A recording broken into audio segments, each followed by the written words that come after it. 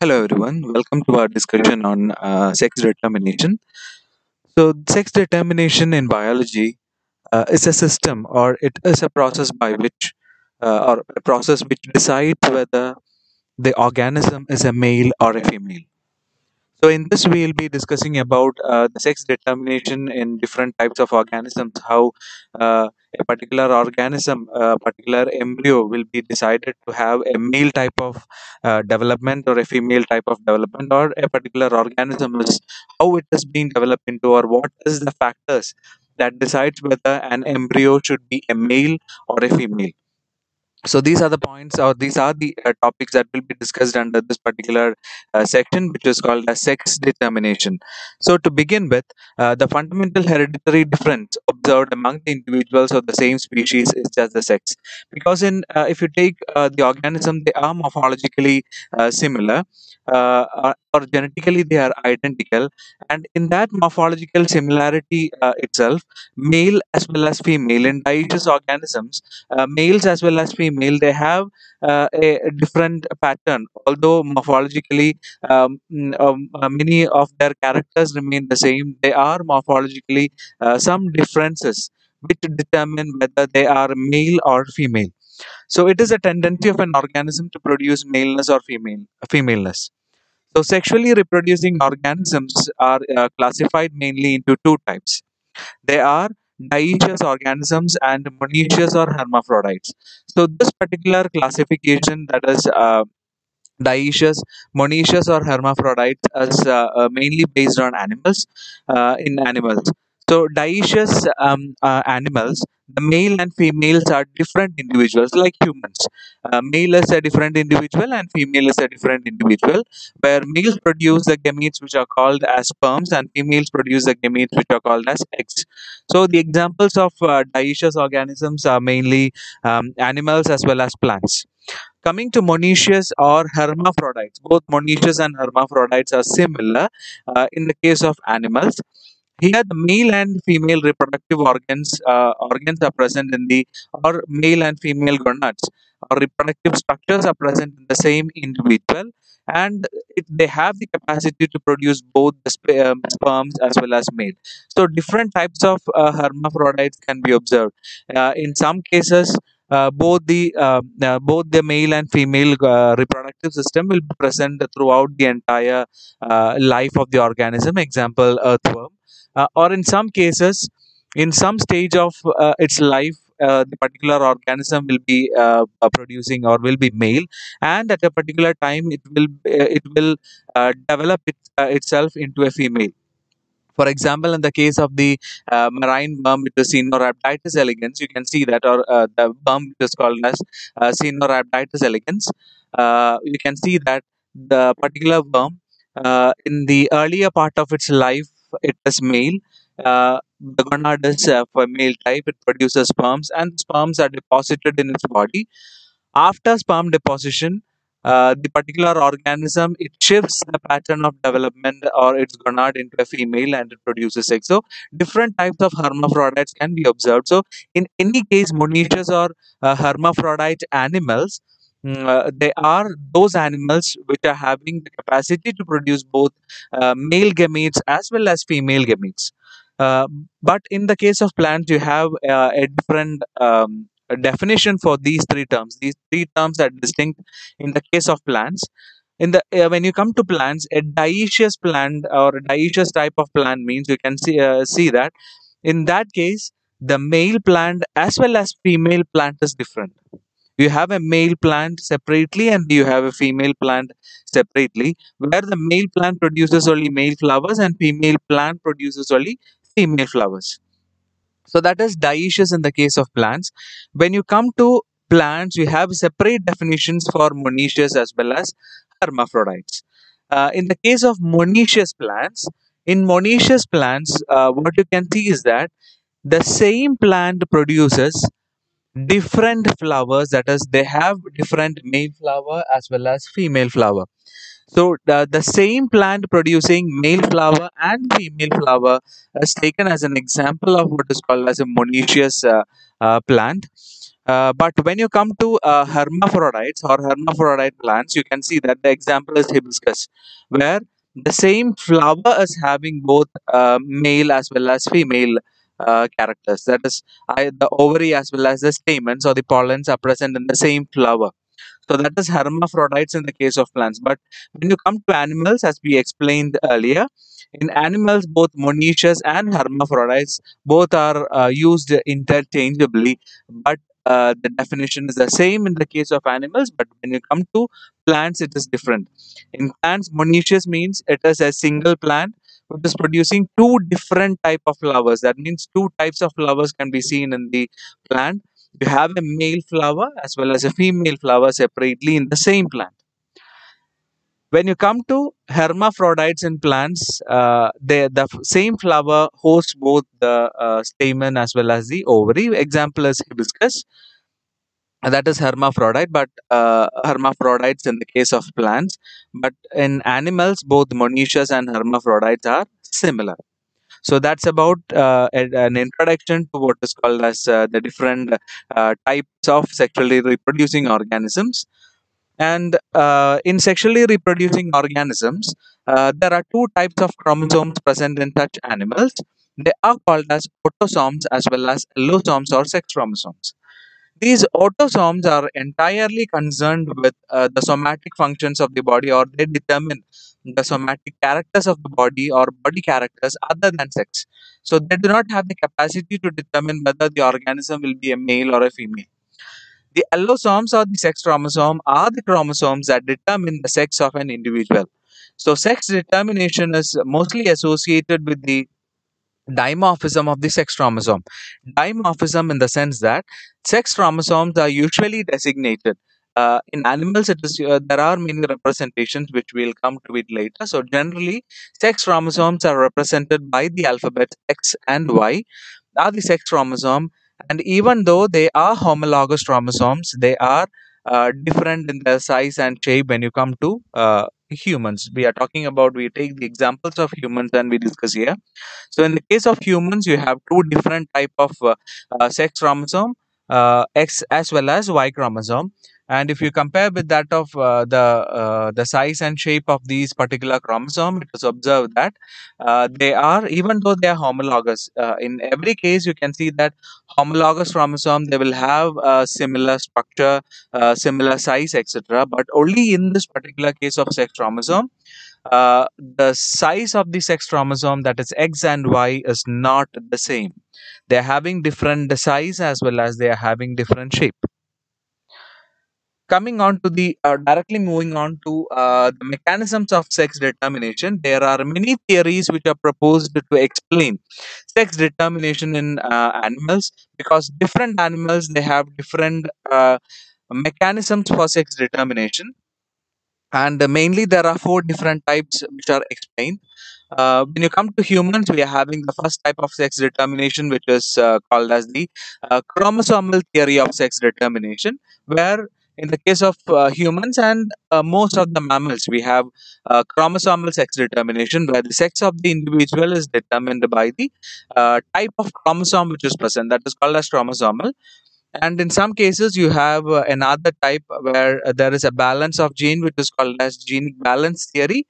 Uh, in some organisms you have um, the sex determined by the environment which is called as environment sex determination and also in some cases it is determined by uh, exclusively by hormones and that is called as hormonal sex determination. So these are the um, major type of uh, uh, mechanisms whereby uh, organisms determine their sex whether to be whether that particular embryo the fertilized um, egg or the embryo should form a zygote which uh, to be developed into a male or a uh, female one uh, so we'll be discussing each type uh, in detail so the first one we'll be discussing uh, uh, uh, now which is called as the chromosomal theory of sex determination so, coming to the chromosomal theory of sex determination, it was proposed by Correns, and this theory is otherwise called as the theory of heterogamesis.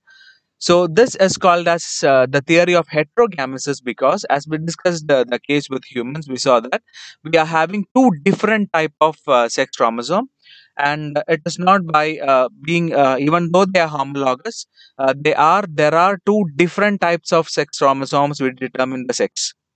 And because of that uh, this particular because there are two different types of chromosomes which are determining the sex of an organism. The theory is also called as the theory of heterogamesis uh, so there is uh, in this case there is a pair of sex chromosomes uh, in both the sexes. Either the male or the female will be heterogametic. Heterogametic in the sense uh, a particular uh, organism or a particular individual will have two different type of sex chromosome so either the male can be heterogametic so if you take the case of uh, humans we know that males are having the sex chromosome xy and females are having xx that means uh, in the case of females they are having the same pair of sex chromosome uh, uh, the pairs are the same in that case they are called as or they are said to be homogametic. But when you come to human uh, males they are uh, uh, heterogametic in the sense that their sex chromosomes are they're having two different types of sex chromosomes. So if uh, the parent if the parent is heterogametic and we're considering an example uh, of an organism which is having three pairs of chromosome that is its chromosome number. Uh, humans are having 23 pairs. In this case uh, the particular organism is having three pairs. In that case uh, we are considering uh, two pairs as autosomes and one pair is the sex chromosome. Just for discussion we are considering a particular organism. Uh, the organism in total it is having mm, three pairs of chromosomes like 23 pairs in humans so out of the three pairs of chromosomes if that particular uh, parent is uh, homo heterogametic it will produce two types of gametes. One will be x chromosome. One type of gamete uh, will have x chromosome in it. The other type uh, either it will have a y chromosome or it will not have a y chromosome. So that is the condition where uh, uh, um, of heterogametic individuals uh, they can produce gametes with X chromosome, with Y chromosome, or without y chromosome. Okay. Uh, uh, so that is uh, the heterogametic parent but and the genotype of the individual as you see here now this is the uh, uh, 2aa whenever you see a representation aa it denotes autosomal chromosome and when you when an organism is having three pairs of chromosome in its body two pairs will be autosomes and one pair will be uh, allosome sex chromosome and that two pairs is represented by 2aa that means 2AA means it is uh, 4 chromosome, 4 autosomes. And if you are denoting or if you take the same notation for humans, this will be 22AA. That means we are having 22 pairs of allosomes plus XY or the heterogametic uh, individual. The heterogametic, this is the heterogametic individual.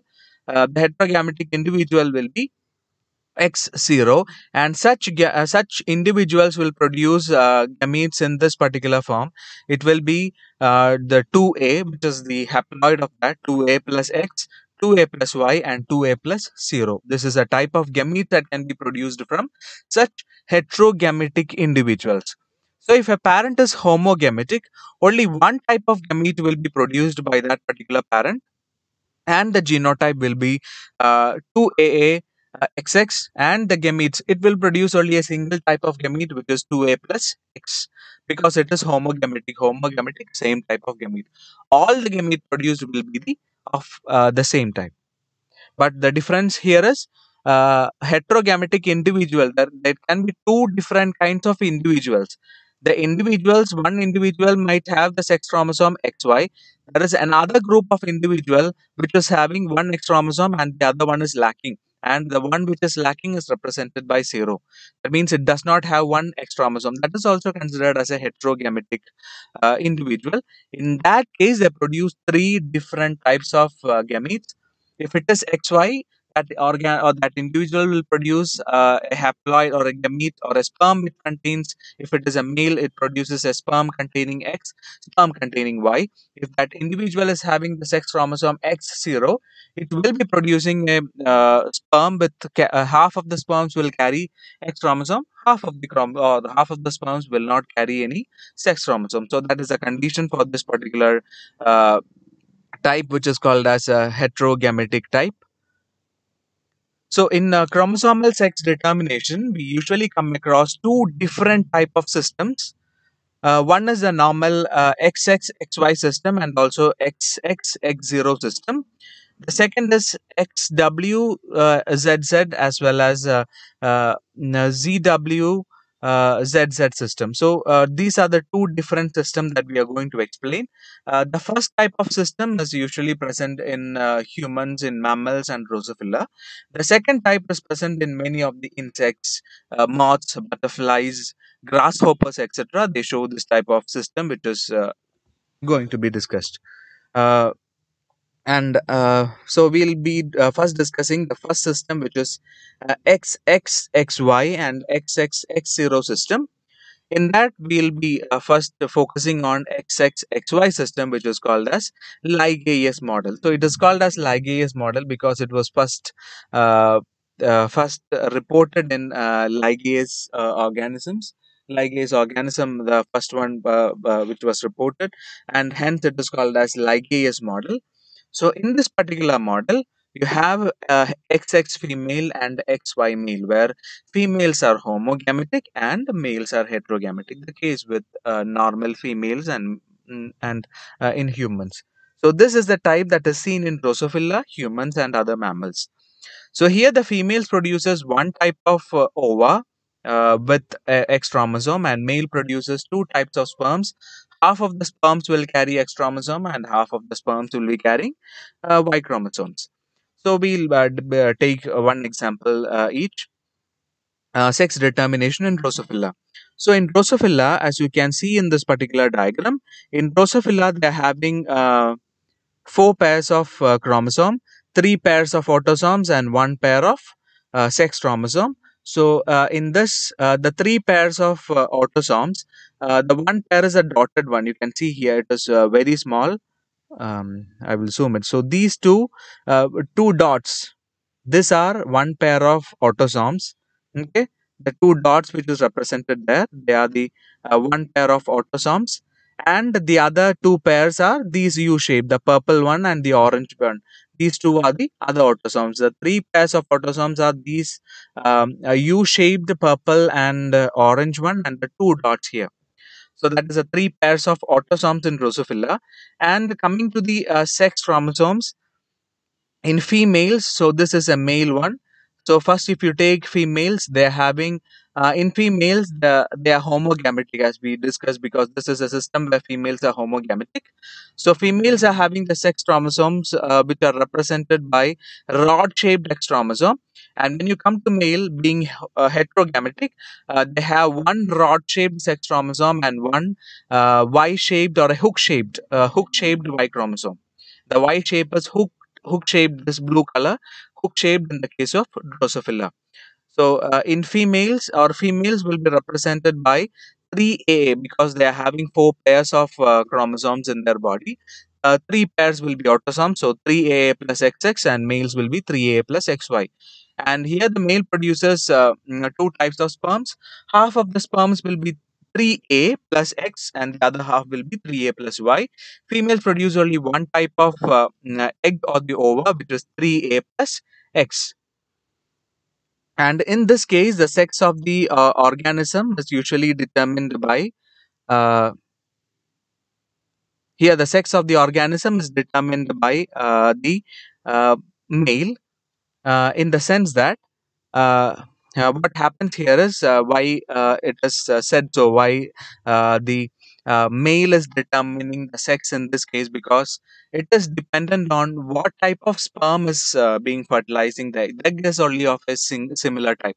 Similar homogametic eggs are produced. So, which sperm is being fertilized with the egg that determines the uh, the sex of that particular individual. That means if the egg is getting fertilized with X chromosome or X containing sperm, it will be a female. If uh, the egg is getting fertilized with the Y containing sperm, that will be a uh, male. So here the sex is determined by the type of uh, sperms that is being fertilizing the egg. So the determining factor, uh, the sex determining uh, factor or the sex determining uh, uh, what to say, the sex determining uh, uh, uh, factor itself. Uh, uh, in the case of uh, uh, XXXY system is the sperms or the males.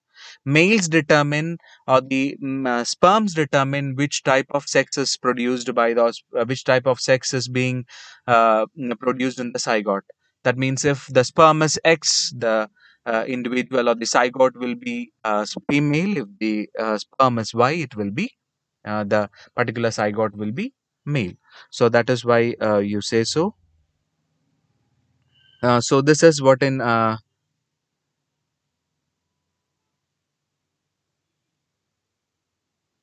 sex determination in drosophila coming to sex determination in the humans so early human embryo so we are going to discuss how uh, sex is determined in uh, human embryos.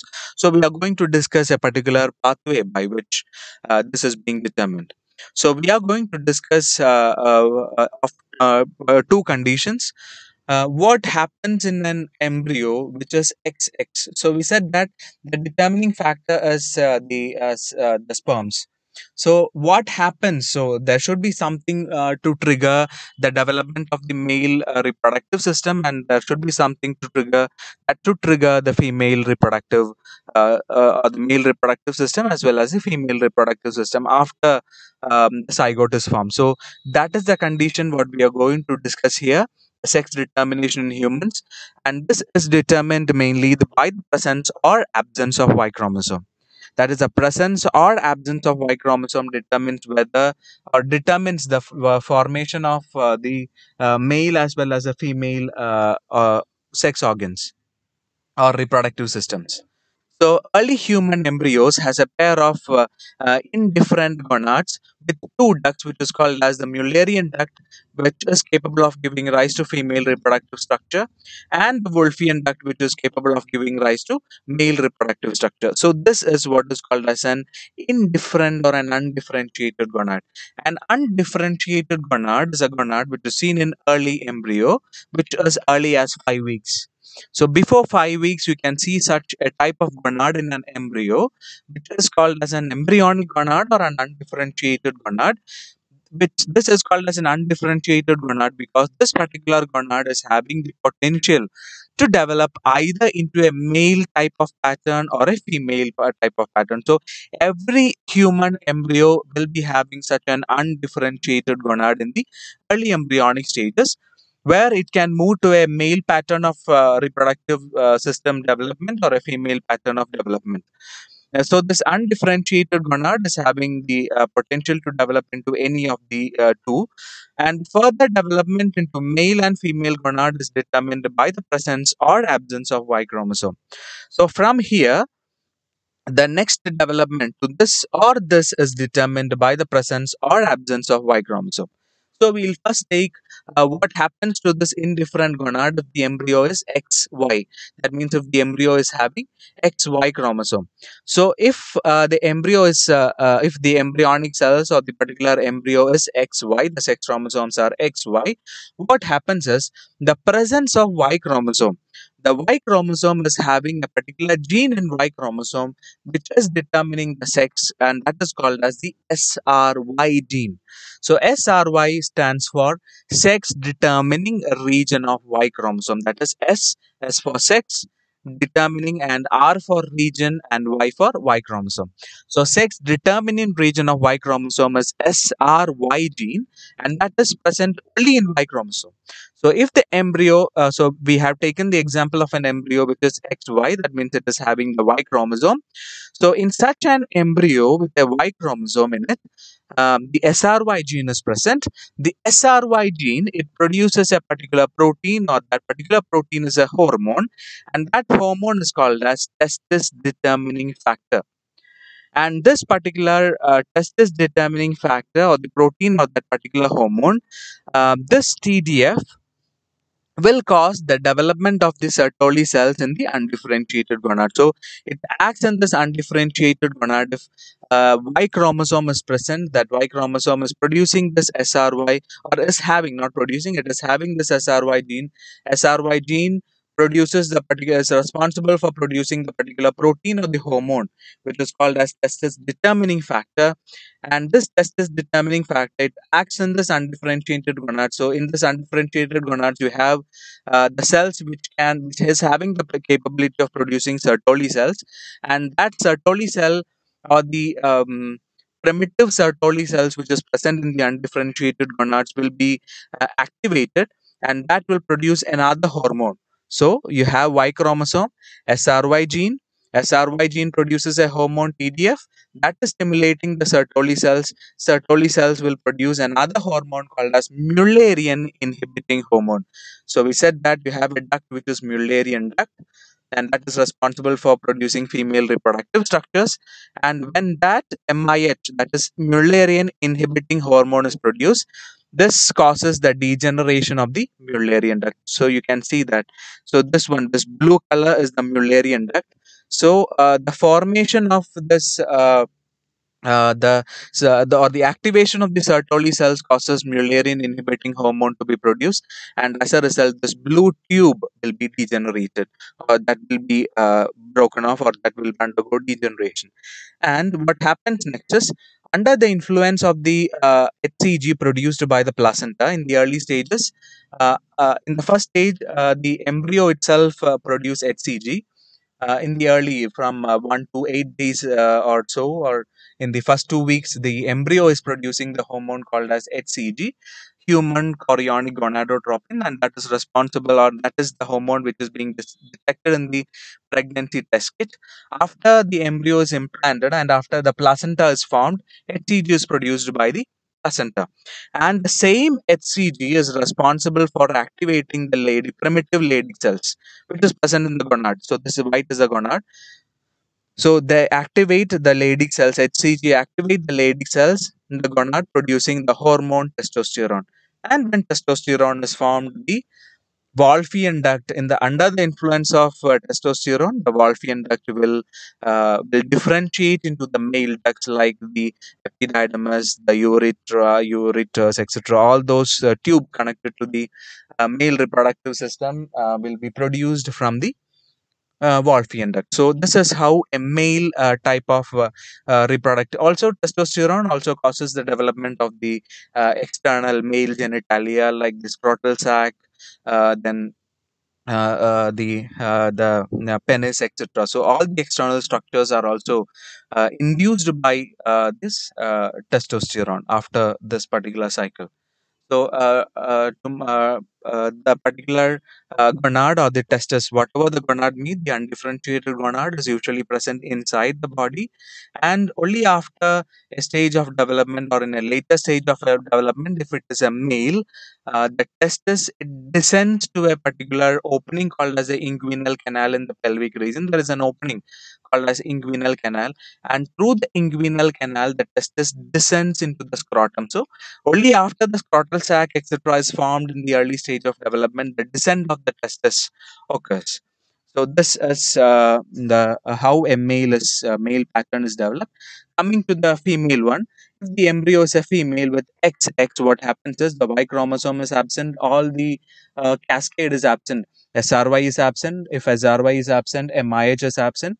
If um, MIH is absent, uh, then uh, the Sertoli cells, uh, the Mullerian duct will not be degenerated. And if Mullerian duct is not getting degenerated uh, simultaneously without any other uh, influence, any other hormonal influence, etc., uh, the Wolffian duct will start to develop into the female reproductive structures of female reproductive duct. As you see here, the oviduct, the uterus, uh, the vagina, etc. All uh, the female structures are developed from this particular uh, tube or the embryonic tube, which is called as the Mullerian duct.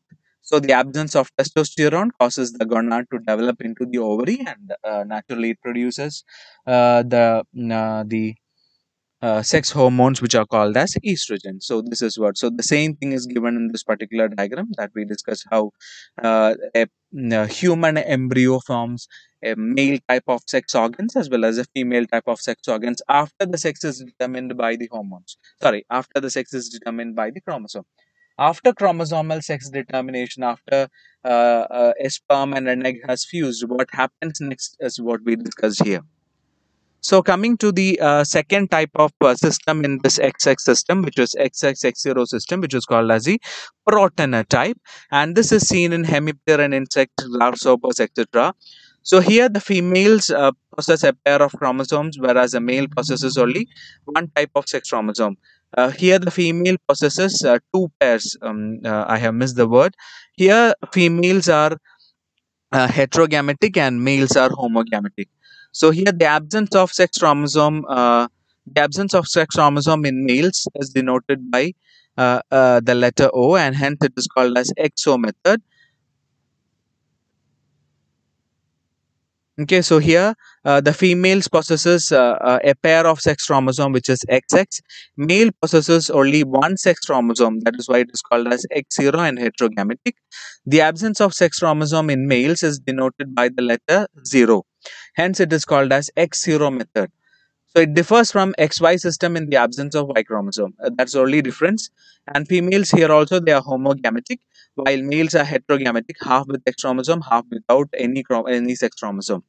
Uh, the sex of the offspring here also it is determined by the sperm which is fertilizing the egg. Coming to the uh, last system in the uh, last method in the case of uh, the uh, chromosomal sex determination, and this is seen in birds, butterflies, moths, fishes, reptiles, etc and uh, here the females are uh, heterogametic that's the opposite of uh, xxxy system. And to uh, clearly distinguish between uh, this we have or they have used different alphabets other than x and y. So here also they are the same sex chromosome but to differentiate or to know the other one is the xxy system this is another system which is seen in birds we they have or the uh, the proposers have used a different alphabet for this so here the males are homogametic with ZZ chromosomes. So here the sex is determined uh, by the egg that is getting fertilized because the all the sperms are same, and here only the uh, the egg is different. Uh, so in this case, uh, Z containing egg is fertilized with Z, it gives a male. Z containing uh, uh, with W containing egg, it gives rise to a female. And the next system is x0 xx the same with uh, the uh, x0 xx system. So here the female is hetero same again heterogametic without uh, a chromosome and males are homogametic this is also seen in some type of butterflies and moths so the female is heterogametic and males are homogametic here also the sex is determined by the type of egg which is getting fertilized the only difference is here that is, if egg without a sex chromosome is fertilized with Z containing sperm, the embryo will be. The the other is the same. This is homogametic, the heterogametic female is being produced here.